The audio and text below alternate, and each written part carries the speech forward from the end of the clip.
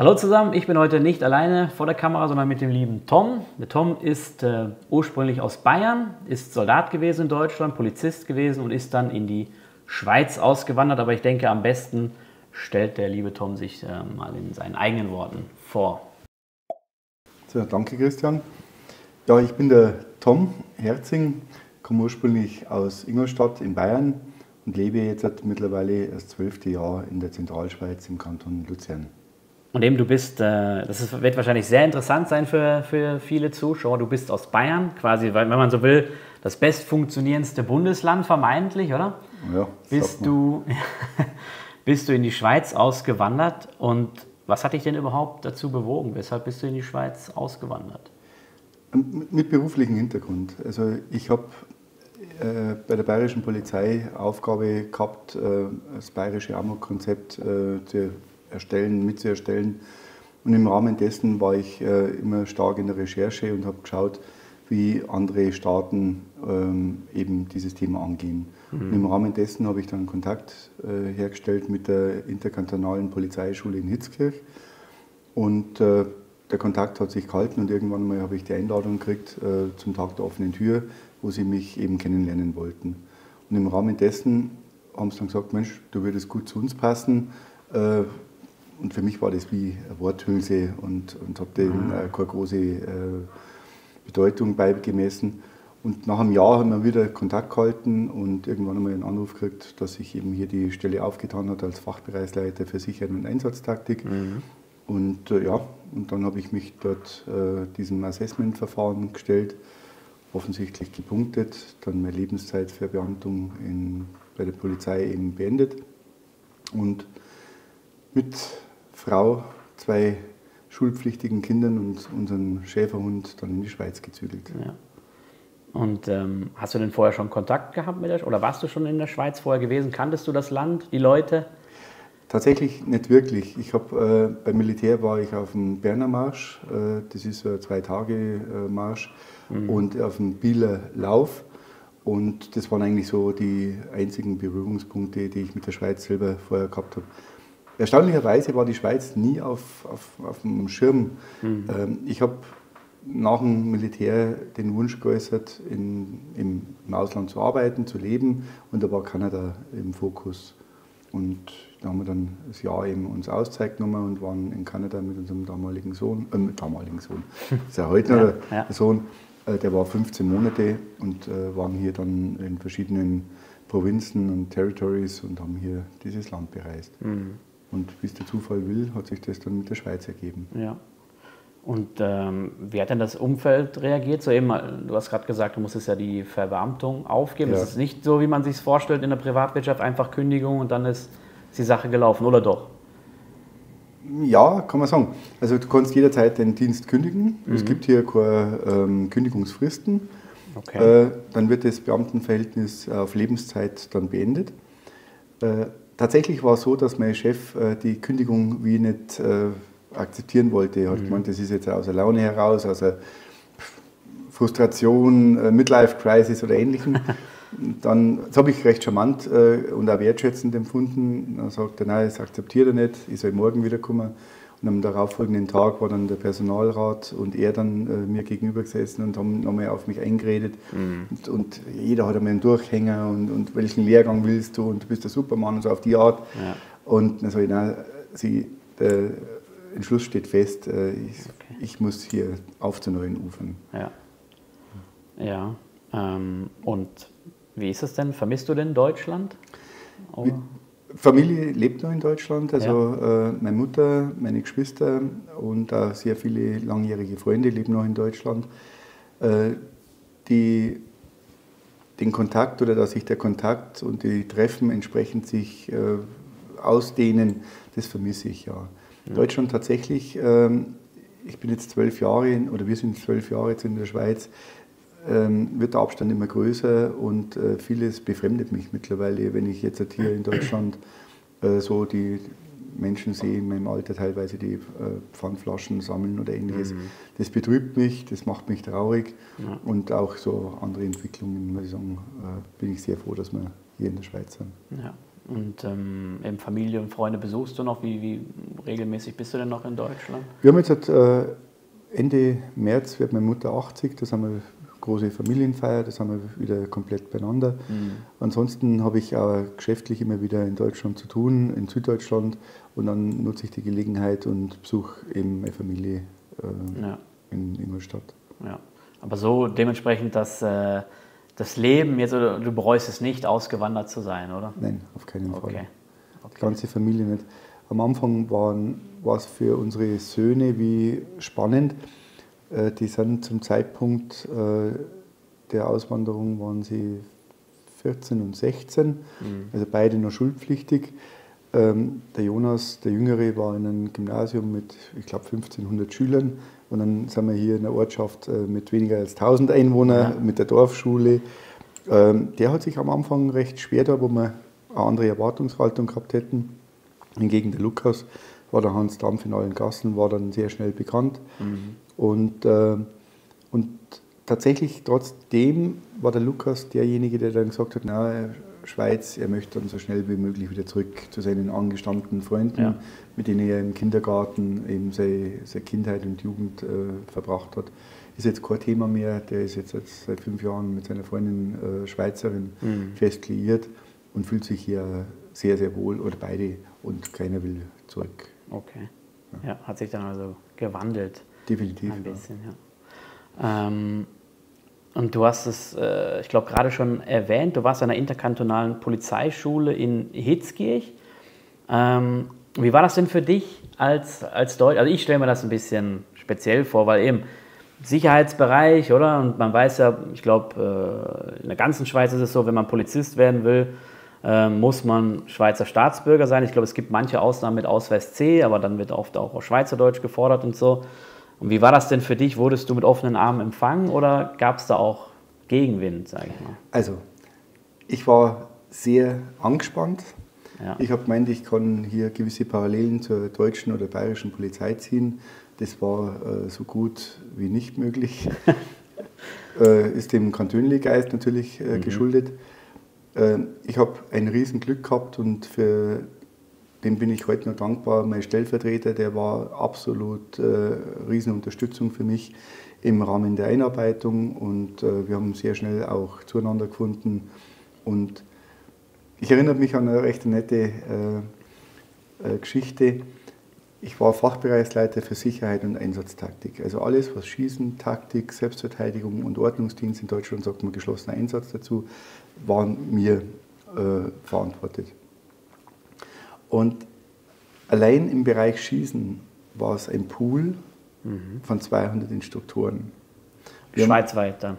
200 aus unserem Konkordat, sprich aus ja. elf Kantonen, Kantonspolizeien, ja.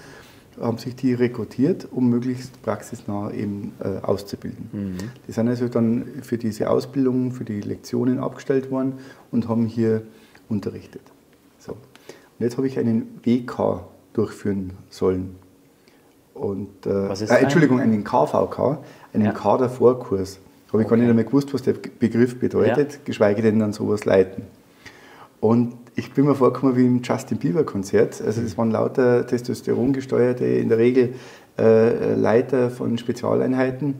Und die haben sich wirklich darum bemüht, dass sie im ersten KVK äh, eben dabei sind, um ein Urteil über mich im Chor weiterzugeben. Ja. Und ja, das war mir klar. Und wie ich mich da vorgestellt habe, habe ich gesagt, Jungs, passt auf, wenn ihr das Gefühl habt, äh, ich erkläre euch jetzt, wie man richtig äh, Polizeiarbeit macht, das könnt ihr euch abschminken. Mhm. Äh, ihr macht eine super Arbeit und es ist aber sehr viel uneinheitlich und vielleicht gelingt es mir, eine Einheitlichkeit reinzubringen. Mhm. Und habe dann eben ein paar Geschichten erzählt, eben vom, vom Waffenlauf, wo ich einmal in der Schweiz war, das war das dritte Ereignis tatsächlich, und äh, da war ich relativ fit. Und äh, da waren wir, haben wir das Ziel schon gesehen und sind da auf das Ziel zugerannt. Und hinter mir höre ich dann, komm Urs, die Schwöbel ist da vorne, die backen wir noch. Also schaue ich mich so um, habe ich gemeint, das ist der, der Almöhi von, ja. von Heidi, ja. so, so ein gefühlter 80-jähriger Kreis mit so einem Rauschelbart und der ist gerannt wie ein junges Reh. Da denke ich mir, nein, du nicht. Und dann habe ich noch Gas gegeben. mit dem Ergebnis der Siegerehrung, dass ich beim Ziel war so ein Tisch, dann also, sind wir wirklich meine Beine zusammengebrochen und habe mir als Kind fast am Ui. Tisch angehauen. Und das Schlimmste war dann, wie dann der Typ dann hinter mir gestanden ist, eben der Alböhe, klopft mir auf die Schulter, sagt er, Schwöbli, das war jetzt noch ein guter Endspurt. Ja, ich so hochgeschaut und denke mal, du auf. So, und das war äh, wirklich so ein nettes Erlebnis und das hat mir auch äh, gezeigt, wie die ticken und, und wie burschikos die sind. Mhm. Und das war dann auch nie das Thema, äh, dass ich, ja, ich habe von Beginn an bin ich akzeptiert worden. Mhm. Und die Frage ist natürlich schon auch berechtigt, brauchen wir jetzt schon die Ausländer, brauchen wir jetzt die Deutschen für die Polizei? Ja. Äh, wo sind sie jetzt denn noch äh, beteiligt? Ich darf wirklich sagen, ähm, vielleicht auch meiner, meiner Art, auf Menschen zuzugehen, geschuldet.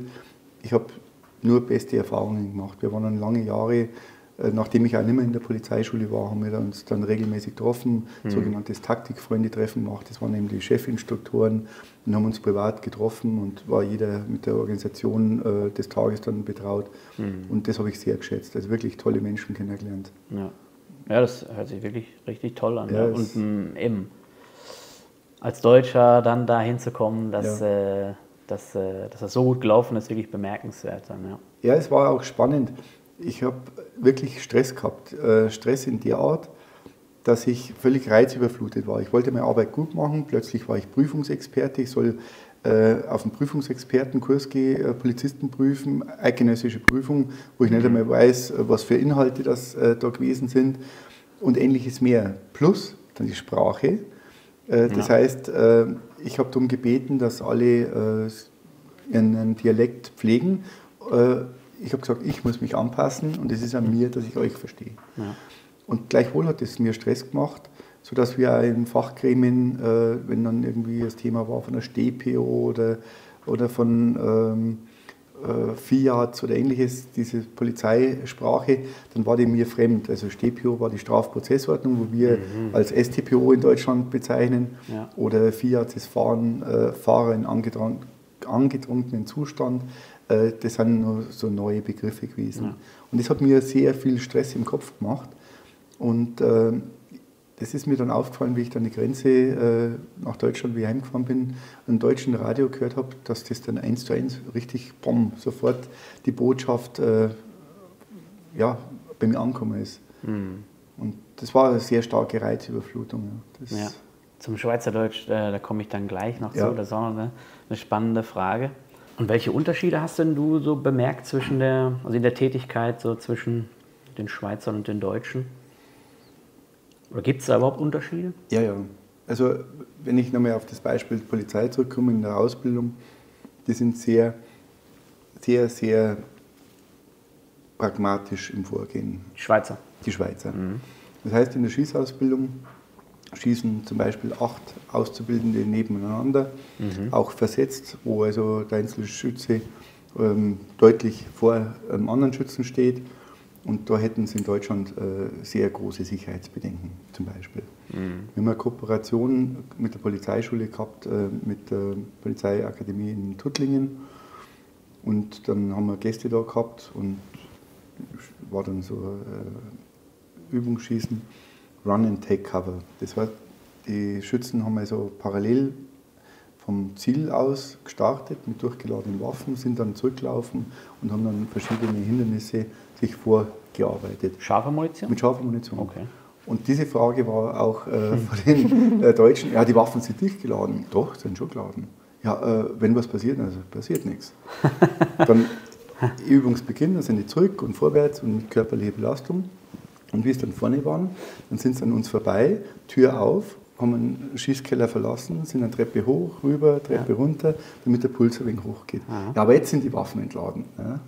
Das sind immer noch, oh, das gäbe es bei uns nicht. Ja. So. Und äh, das war genau das, was mir äh, so auch gefällt. Einfach hemdsärmelig, ähm, burschikos und einfach machen. Und was, was denkst du dir denn, wie kamen oder wie kommen diese Unterschiede zustande? Ja, dass die Schweizer äh, pragmatischer zum Beispiel sind und, und die Deutschen anscheinend nicht. Das hängt, denke ich mal, ist tatsächlich äh, Schweizer Eigenart, äh, die vermutlich geschichtlichen Hintergrund hat. Ähm, sie reizen Sicherheitsbestimmungen sehr stark aus. Man sieht es ja, äh, wenn ich mit meiner Frau biken gehe oder ähm, joggen, mhm. äh, dann wird man möglicherweise überschossen. Äh, man, ist, man, hat das Gefühl, man ist im Zielgebiet und das verursacht bei meiner Frau oftmals ein Unwohlsein. Ja. Bei uns jetzt halt in der Nachbarschaft, wenn man von einem Ort zum nächsten fährt, da wird man, wenn man mit dem Auto fährt, wird wirklich äh, über einen drüber geschossen.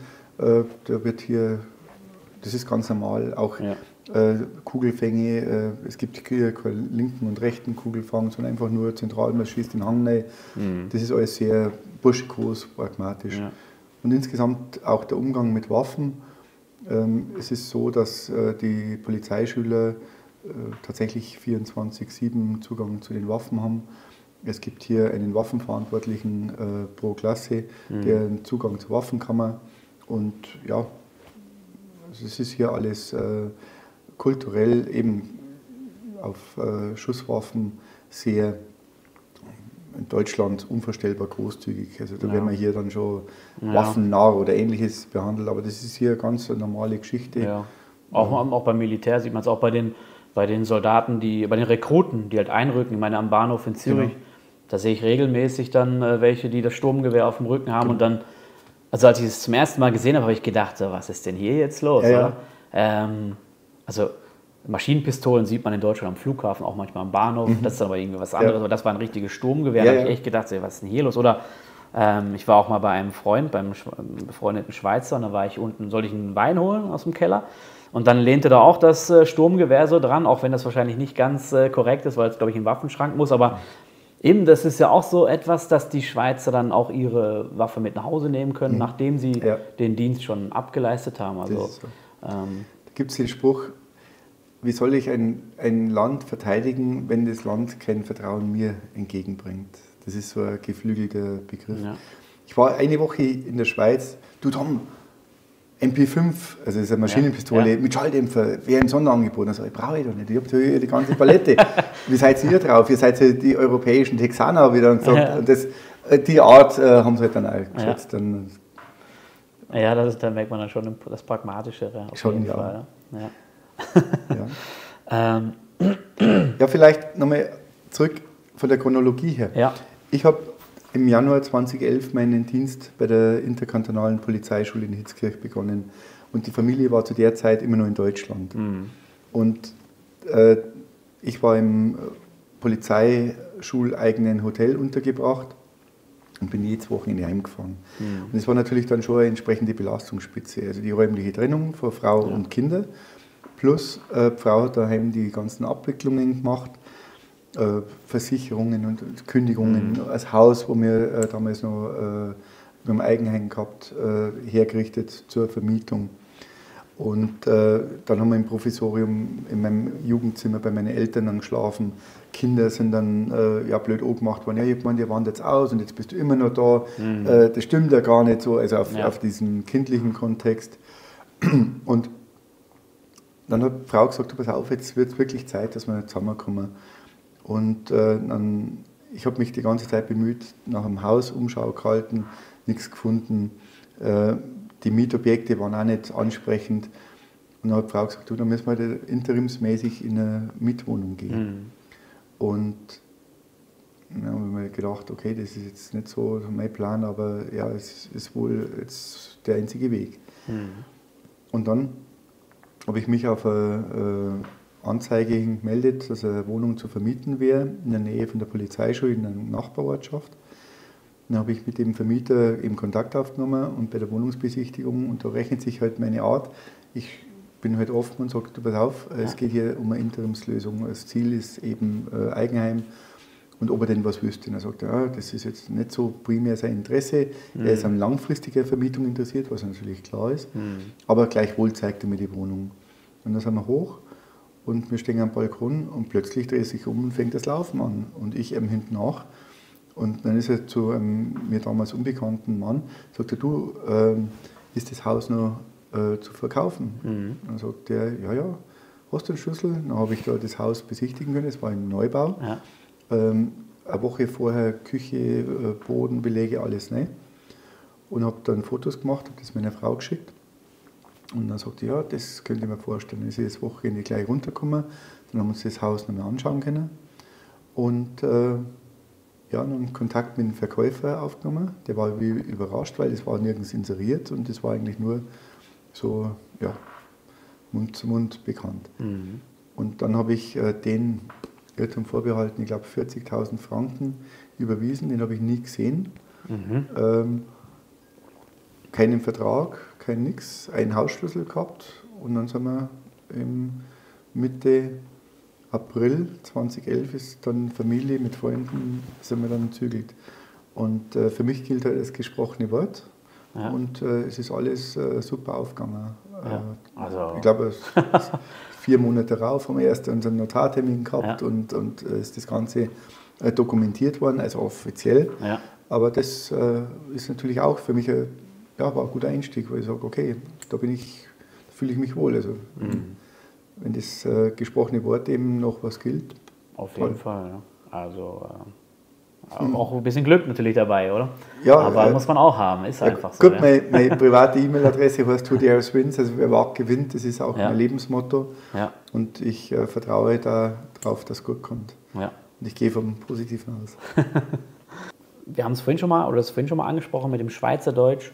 Ähm, meine Frage ist jetzt da, an jeden Deutschen, die ich immer stelle, gab es Probleme mit dem Schweizerdeutsch. Bei dir ist es noch, finde ich, was Besonderes, weil ähm, ich habe schon oft gehört, ähm, dass gerade Süddeutsche und ähm, natürlich Badener oder Schwaben, aber auch Bayer ähm, weniger Probleme haben mit dem Schweizerdeutsch. Ist das so?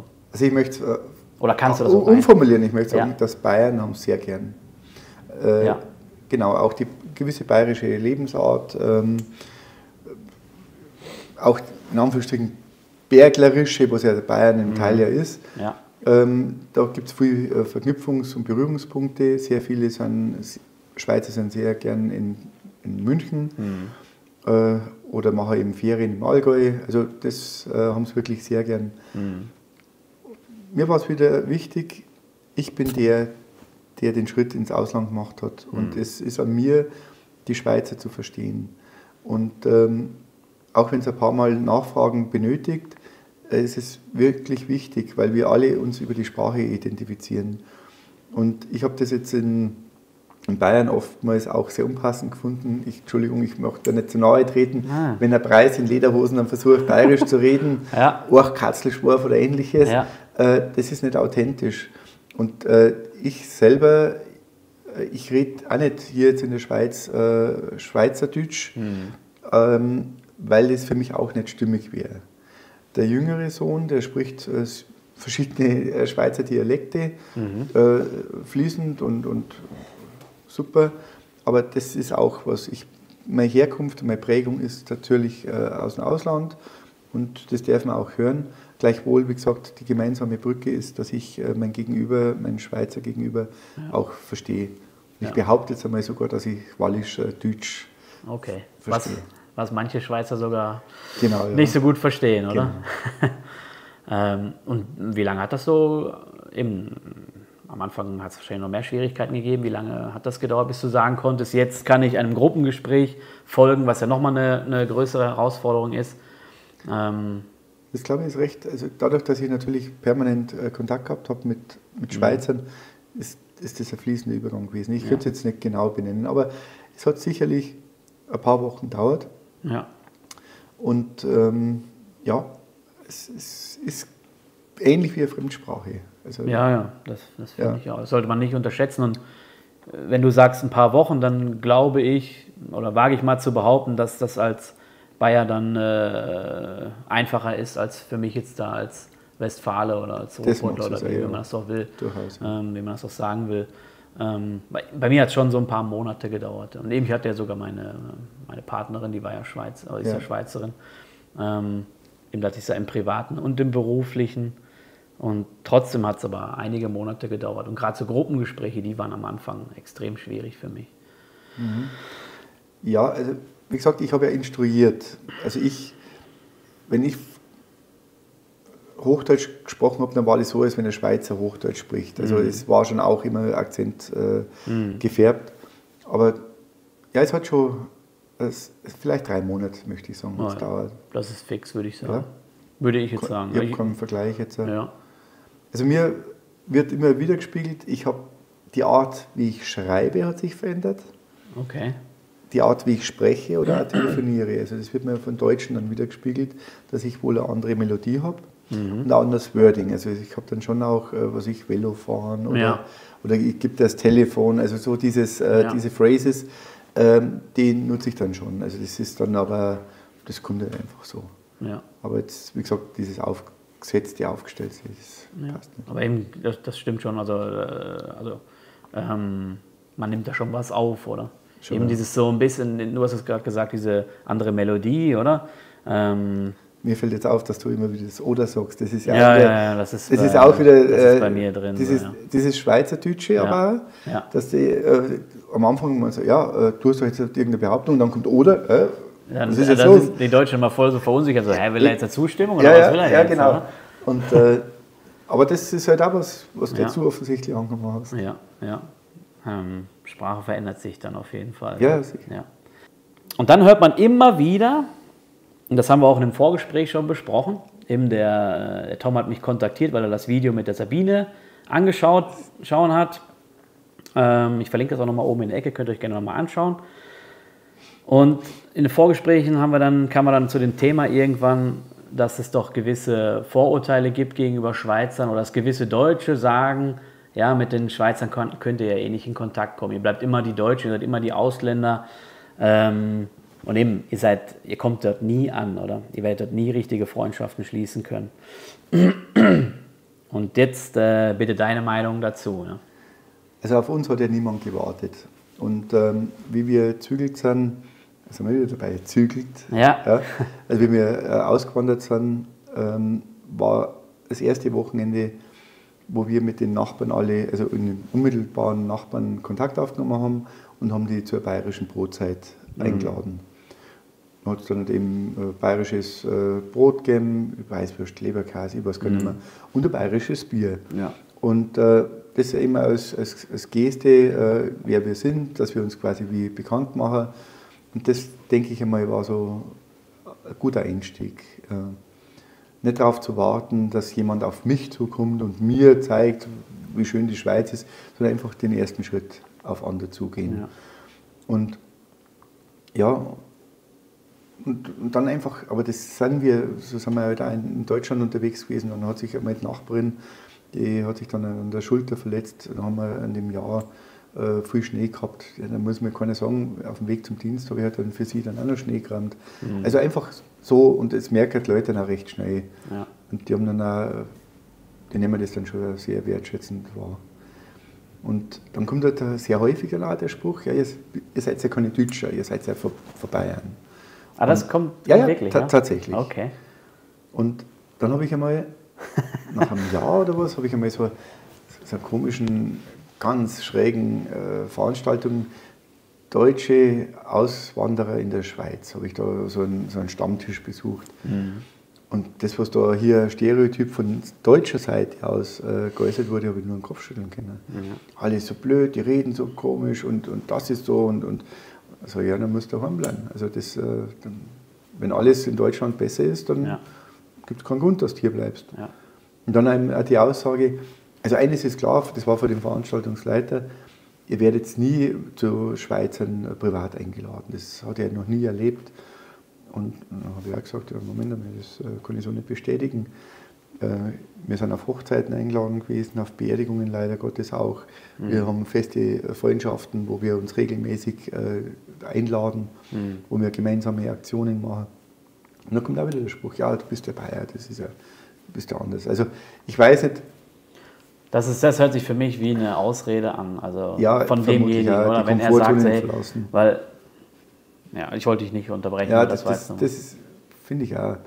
Und dann habe ich auch gesagt, na, ich glaube, es passt nicht. Und habe die Zeit dann nicht Mhm. dann abgebrochen und bin dann heimgefahren. Das, ist, das war mir zu platt. Also da frage ich mich ernsthaft so, ich meine, da trifft man sich dann als deutsche Auswanderer in der Schweiz und ich habe ja auch schon mal Community-Treffen gemacht.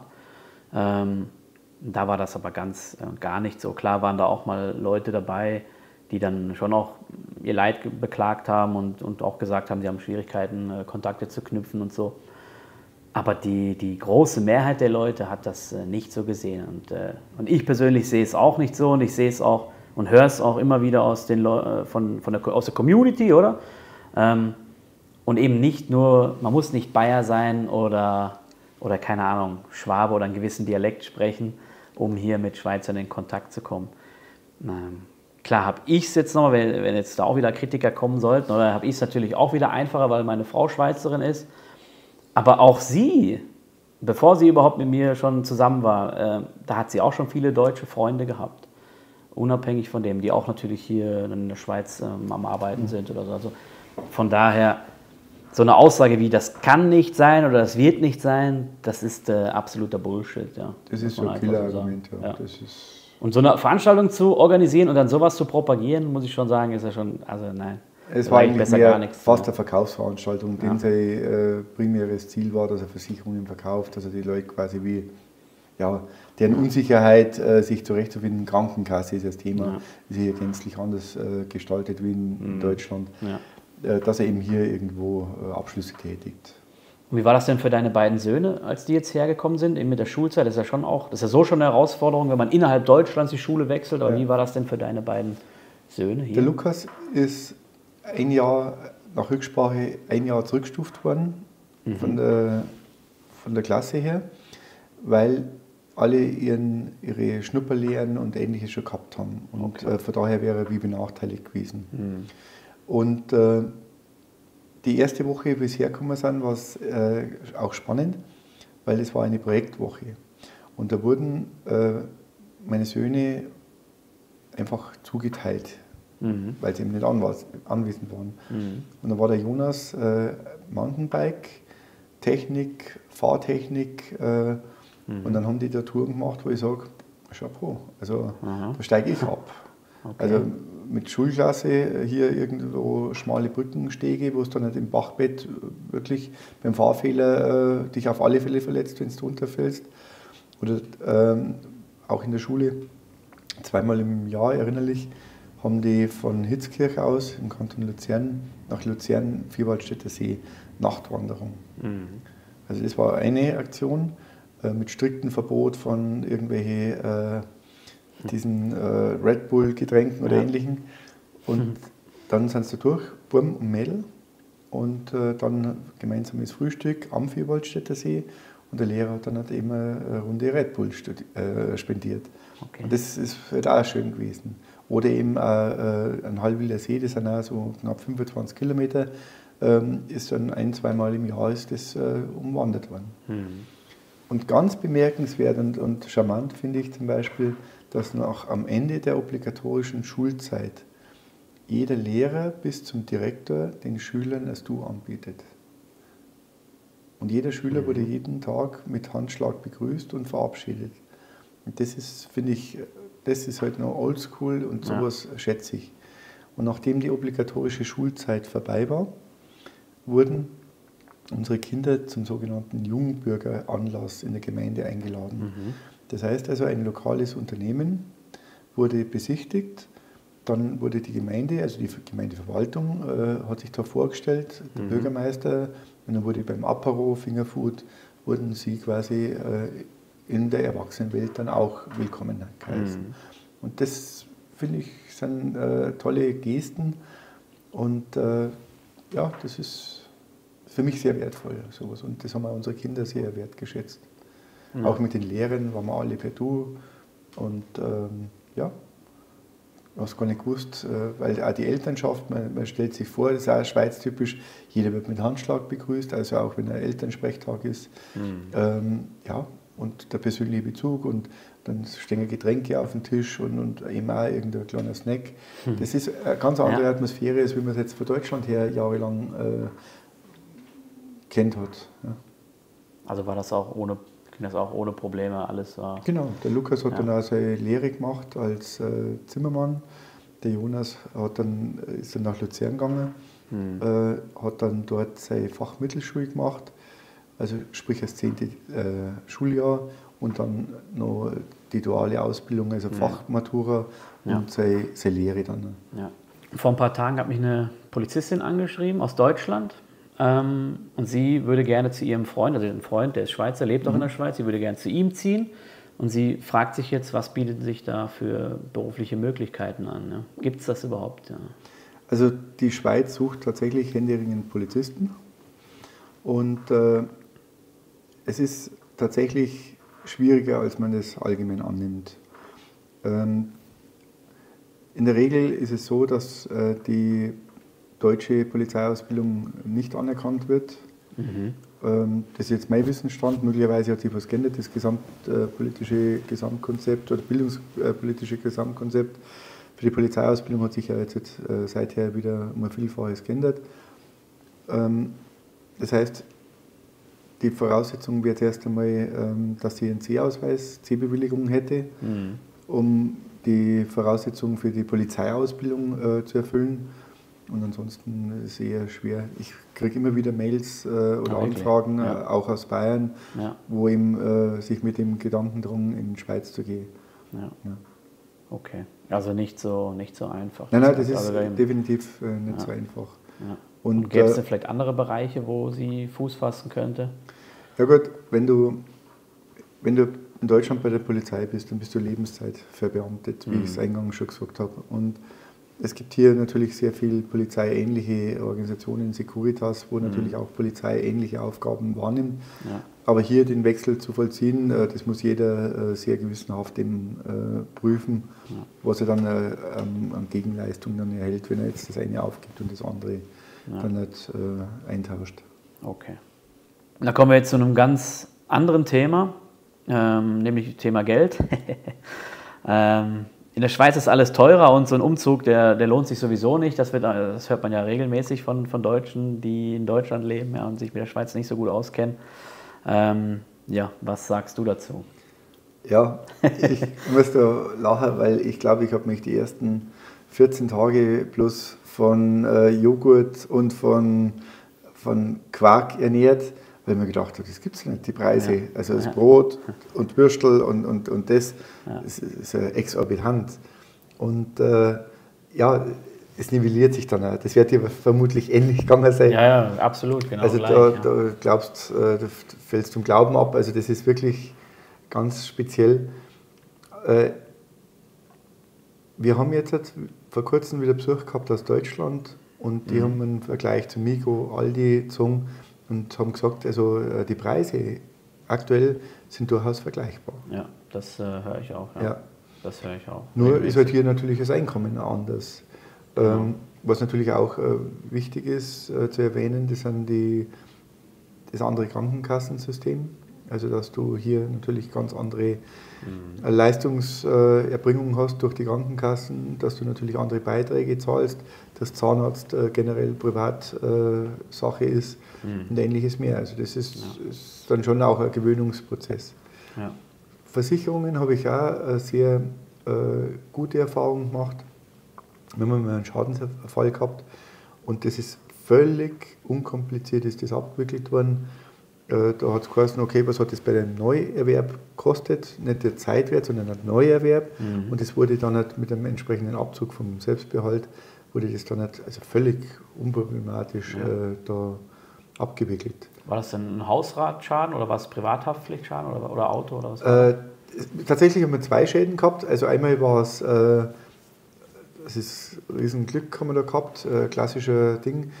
Äh, meine Frau raucht hin und wieder äh, Zigarette, hat dann den Aschenbecher äh, mhm. entleert ja. und dann hat sich eben der Abfallsack entzündet oh und hat dann unseren Rasenmäher, einen Fangkorb, einen Rasenmäher völlig zerstört ja. und noch ein paar andere Sachen, ich weiß jetzt gar nicht mehr aus dem Stegreif. Das war der eine Schaden, der da ganz anstandslos gezahlt worden ist. Und dann im Rahmen einmal vom Mountainbike-Unfall, wo dann das Handy kaputt gegangen ist, der Helm natürlich. Ja noch irgendwelche geringen Schäden am, am Velo. Und, und das ist alles äh, ganz äh, einfach abgewickelt. Ja, ja. Wo ich dann eher das so in Erinnerung gehabt habe, dass in Deutschland das ungleich komplizierter ist, ja. wo dann auch die Bemessungsgrundlage für die äh, Rückerstattung der Zeitwert ist und nicht der Wiederbeschaffungswert und, und solche Dinge. Mhm. Habe ich auch schon in der Schweiz festgestellt. Also auch, auch was das angeht, pragmatischer hier und kulanter finde ich auch. Und Weil das zieht sich ja in der Steuererklärung ja durch. Du hast äh, ja. so hohe äh, Steuerfreibeträge, ja. dass du nicht hier die, die einzelnen äh, Tickets äh, und, und, und, und, und Rechnungen genau, sammeln musst. Genau. Du hast einen recht hohen äh, Weiterbildungsanteil.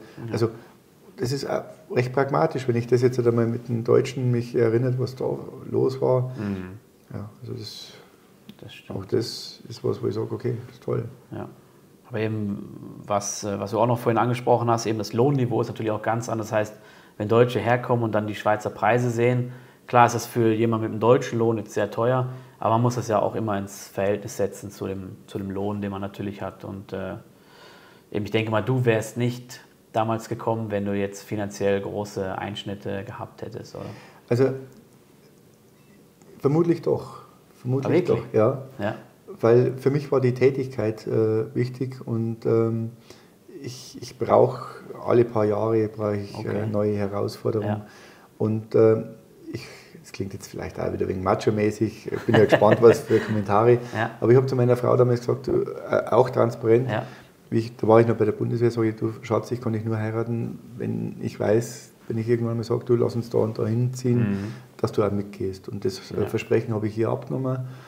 Und es war damals an und für sich die Kanada immer im Fokus, und, äh, aber immer im Ausland arbeiten. Ich habe mhm. dann einmal ein Angebot gehabt auf Dubai, ja. äh, wollte sie nicht, so ja, ist in Ordnung, es muss ja für, für beide passen. Mhm. Und dann, wie gesagt, hat sich das mit der Schweiz aufgetan. Und ich glaube, ich wäre tatsächlich, oder wir werden tatsächlich auch mit geringeren äh, Lohn im Verhältnis äh, hergegangen, okay. weil für mich eben die Aufgabe so reizvoll äh, war und auch diese neue Erfahrung, äh, diese Entwicklungen, die ich jetzt hier die letzten zwölf Jahre gemacht habe. Ich glaube, diese Lernkurve hätte ich jetzt in Deutschland so nicht gehabt, die wäre mhm. wesentlich flacher gewesen. Ja.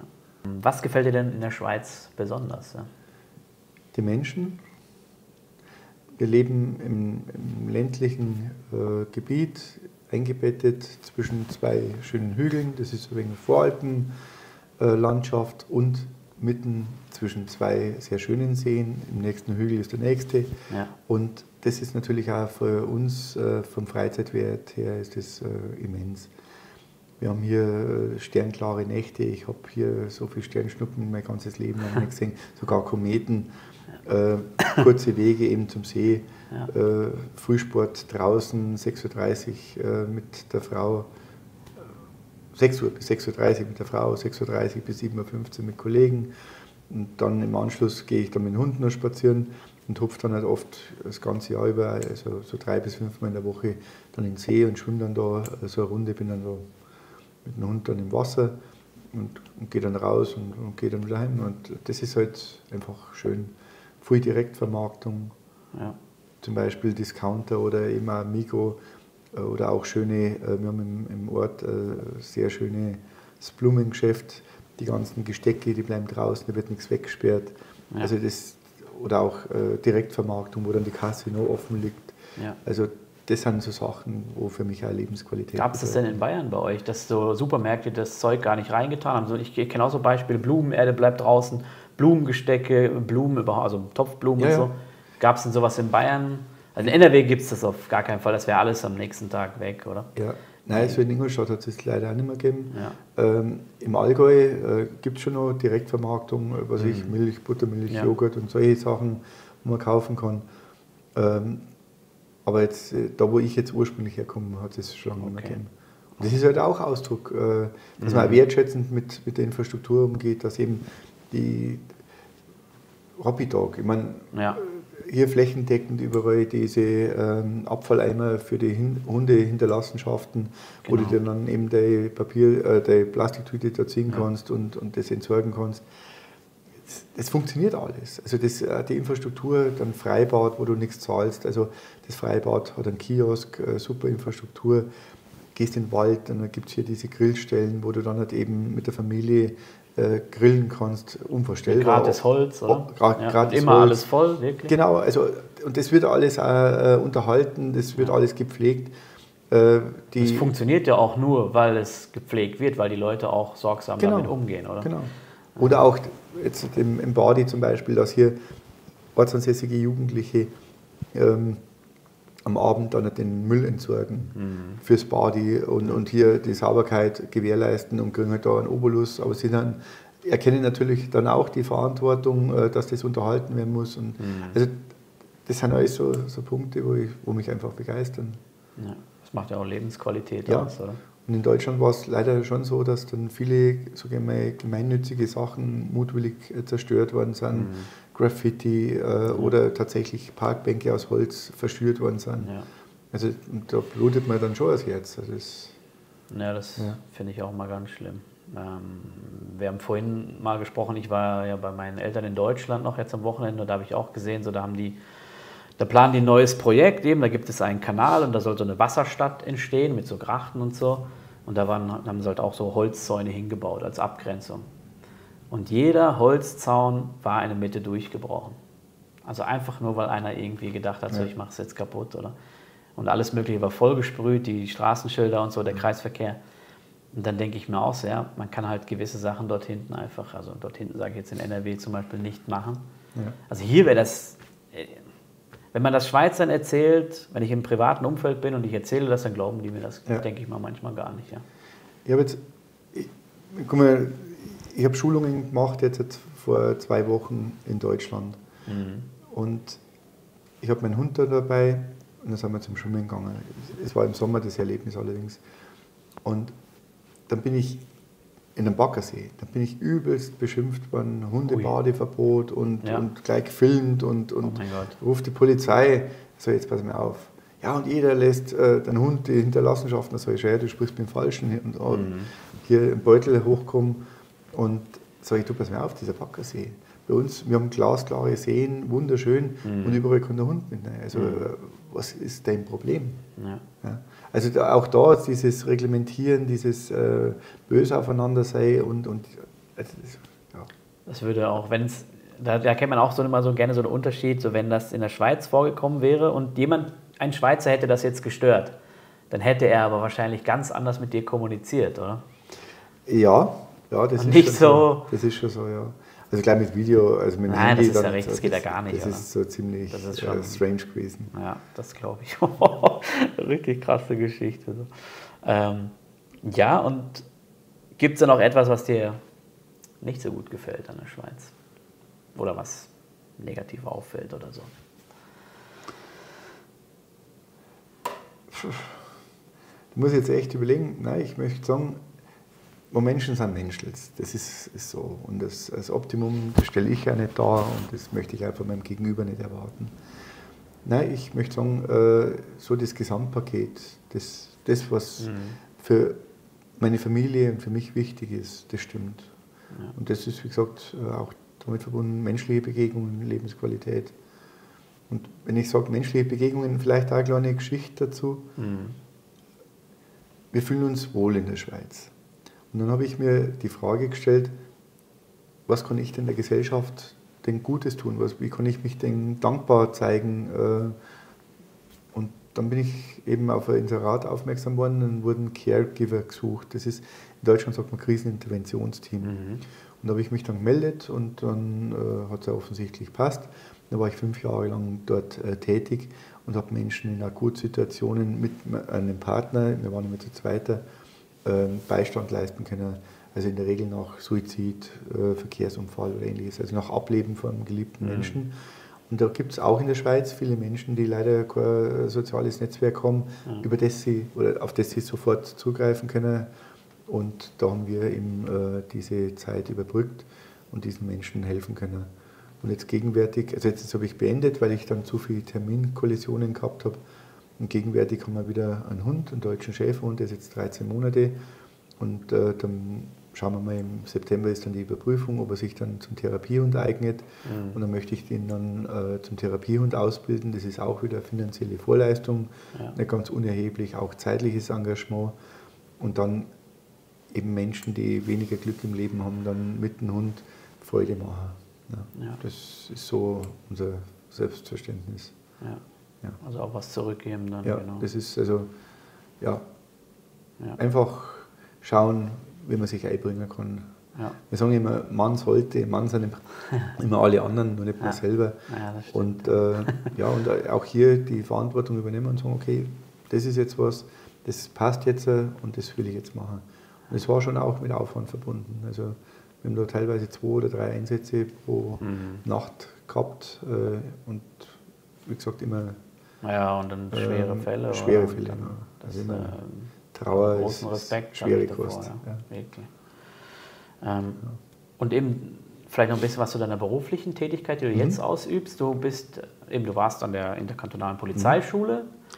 Dann vom Fachbereichsleiter dann zum Lehrgangsleiter. Das heißt, ich war Disziplinarvorgesetzter für 160 ähm, Schüler, Polizeischüler mhm. und äh, Vertrauenslehrer, Prüfungsverantwortliche mhm. und eben mhm. auch der, das Bindeglied, Single Point of Contact für die Kommandanten und für die Ausbildungsverantwortlichen.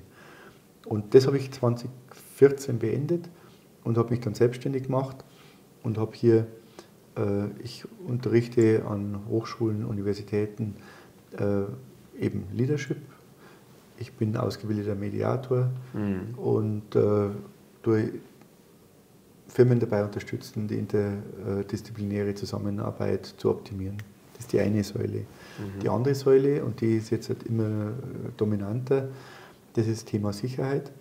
Äh, ich nenne es integrale Sicherheit. Da geht es also um besondere Vorfälle von Drohanruf über Drohbriefe bis hin zu konkreten äh, Gefährdungssituationen, mhm. wo ich dann eben auch äh, da die Firmen berate, auch Trainings anbiete. Das geht über Spitäler zu Firmen, Lebensmittelkonzerne, wie sich da Mitarbeiter in bestimmten Situationen richtig verhalten. Das Ganze ist abgestimmt natürlich auf das taktische Vorgehen der Polizei, mhm. sodass also nach Amok- oder Terrorfall äh, das Verhalten der, der Mitarbeiter stringent ist, also sprich äh, der, dem taktischen Vorgehen der Polizei das noch unterstützt. Und ich bin natürlich da auch, äh, darf ich mich als Experte bezeichnen. Ich komme aus dem Bereich, äh, also ich habe das bayerische AMO-Konzept mitentwickeln dürfen mhm. Äh, und habe hier entsprechende Kenntnisse, sodass ich da äh, ja, auch international recht gefragt bin. Gegenwärtig bin ich dabei, eine neue Firma zu gründen, muss jetzt nur ein paar Sachen abklären, wo eben nur dieses Sicherheitsthema abbildet, wo es um Reisesicherheit geht, wo es um Vorbereiten von von äh, Schulungen, Durchführen von Schulungen geht mhm. und ähnliches mehr. Und meine direkte Art äh, kommt auch hier zum Tragen. Ja. Ich habe hier mit dem CEO einer, eines äh, großen Konzerns äh, gesprochen, nachdem die verschiedene, äh, sage ich mal, sehr bedenkliche Vorfälle gehabt haben. Und dann sagt er irgendwann, ja, jetzt, jetzt seien Sie mal ehrlich, das kann man ja nicht lernen, man würde eh so sich verhalten, wie man sich, wenn man sich eh verhält. Mhm. Dann habe ich gesagt, ja, wie würden Sie jetzt reagieren, wenn ich jetzt halt aufstehe und ein paar auf die 12 haue? Ja. da schaute mich an, da waren natürlich die anderen Geschäftsführer auch dort, haben, haben sich gefreut über diese ja. Frage. Und dann sagte ja, äh, woher soll ich das wissen? So, ja, gerade haben Sie doch gesagt, Sie würden sich so verhalten, wie Sie sich eh verhalten würden. Mhm. Was ist denn Ihr Erfahrungsschatz? Ja. Die Schlägerei in Anführungsstrichen mit den Geschwistern vor 40 Jahren oder was ist? Und, und das ist genau das und das kann man trainieren. Mhm. Und da gibt es eben ja, bestimmte Vorgehen äh, und Schulungen, wo dann halt sich die Mitarbeiter äh, zielführend verhalten. Ja. Das ist äh, sehr viel wert, weil letztendlich ist es mein Herzenswunsch tatsächlich, äh, ich möchte Brückenbauer sein, damit sich Menschen in sicheren Umgebung äh, ja, korrekt verhalten ja. und miteinander umgehen. Ja, also wirklich ein sehr spannendes Thema. Da könnte man sogar ein extra Video noch drüber machen. Aber wenn euch das interessieren sollte, wenn ihr vielleicht auch in der Situation seid, wo ich das, wo ihr vielleicht denkt, so, hey, das wäre auch was für unser Unternehmen, also vor allem Unternehmen berätst du ja. Genau, aber ich habe ich hab, bin auch im privaten äh, Bereich, also Führungskräfte, die ich ja. dann halt, äh, in SAC-Hütten äh, zwei Tage begleite. Ich bin früh in der Schweiz im, in Kloster Fischingen, ja. hervorragende Infrastruktur, ähm, wo ich dann halt eben mit Einzelpersonen mhm. hier zu deren speziellen Themen Beratungen mache. Aber auch hin und wieder kommen Leute zu mir, die in einem bestimmten Lebensabschnitt sind und äh, suchend mhm. sind und denen habe ich auch schon viel helfen können. Okay. Ja. Wenn das Thema mehr interessiert, könnt ihr dann gerne mal unten in die Videobeschreibung reinschauen. Da verlinke ich dann die Webseite vom Tom. Könnt ihr mal euch dann genauer informieren über das Ganze. Und dann jetzt zum Abschluss die letzte Frage. Was empfiehlst du den Leuten, die auch über eine Auswanderung nachdenken, unabhängig davon, in welches Land sie jetzt gehen? Ähm, du kannst vielleicht auch davon gut berichten, weil du hast ja auch mal überlegt, nach Kanada zu gehen. Ja, ja Kanada, Dubai waren schon äh, so gedankliche Ausflüge. Ja, es, es, es, ist abhängig, wenn man mit Familie äh, auswandert, dass die Schulsituation auch geklärt ist. Und wenn man mit einem Partner auswandert, es muss immer für beide stimmen. Hier für die Schweiz ist es mir oder erscheint es mir wichtig, dass man sich einen Kanton raussucht, wo, wo man Bezug dazu hat. Also es gibt hier Luzern, Zentralschweiz passt jetzt für uns, auch vom, vom geografischen her. Wir sehen die Berge, aber wir sind noch weit genug weg und haben eine relativ gute Infrastrukturanbindung. Ja. Wenn du in Kanton Schaffhausen oder in Grenznähe äh, zu Deutschland bist, ist das natürlich wieder äh, ganz anders. Da wirst du auch als Deutscher anders wahrgenommen. Das sind so Dinge, die unbedingt abgeklärt werden sollen und letztendlich sich von der Euphorie, von der Schönheit äh, des Landes auch nicht blenden lassen. Mhm. Wenn wir in Kanada waren, haben wir ja diesen Aufenthalt äh, primär unternommen, A, um eine Auszeit, das war zwischen Bundeswehr und äh, zwischen der Polizei, haben wir ja dieses Land in verschiedenen Jahreszeiten kennengelernt. Wir haben es vorher kennt von Urlaubsaufenthalten her mhm. im Sommer und jetzt haben wir es halt auch im, Herbst, im Frühjahr und so weiter in verschiedenen Jahreszeiten erlebt und halt da auch ein bisschen hinter die Kulissen geschaut, sodass also diese Urlaubseuphorie, wo ja, wo man eh in einem anderen Modus ist, ja. äh, dann halt auch wie man wegfällt und man das auch wegen nüchterner äh, beurteilen oder einschätzen kann, ob man ja. sich denn hier dauerhaft wohlfühlen könnte. Ja. Perfekt, super Schlusswort. Dann vielen Dank, Tom, dass du dich bereit erklärt Sehr hast, gern. das Video mit mir zu machen. Und dann hoffe ich, hat es euch gefallen. Ich verlinke dann noch ein weiteres Video im Abspann und hoffe, wir sehen uns beim nächsten Mal wieder. Macht's gut, bis zum nächsten Mal. Ciao, ciao. ciao.